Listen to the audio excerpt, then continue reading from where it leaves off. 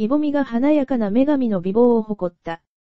9日、韓国俳優イワンの妻で、プロゴルファーのイボミは自身のインスタグラムに近況を込めた写真を数枚投稿した。写真にはイボミが黒いジャケットを羽織り、シックながらも洗練された魅力を披露した。芸能人に劣らず眩しい彼女はファンを感嘆させた。また、イボミは小顔と長い足を通じてモデルのような姿を披露した。一方、イボミは2019年、女優キムテヒの弟である俳優イワンと結婚。最近、オリンピック女子ゴルフの解説を務めて話題を集めた。